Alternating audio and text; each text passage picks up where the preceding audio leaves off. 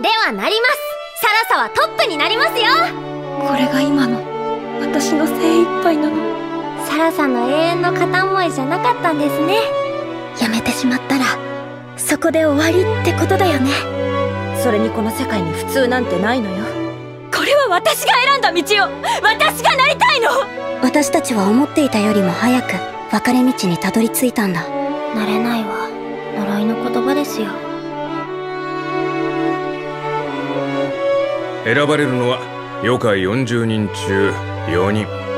オーディションだ。今度こそサラサのティボルトを皆さんにお見せします。